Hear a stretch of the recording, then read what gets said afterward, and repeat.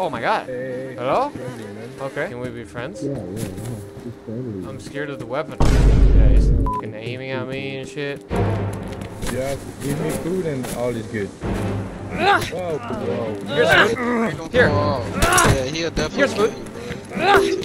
Here's some food. I think you missed it. Come get your food. You still want some food? Come get your food.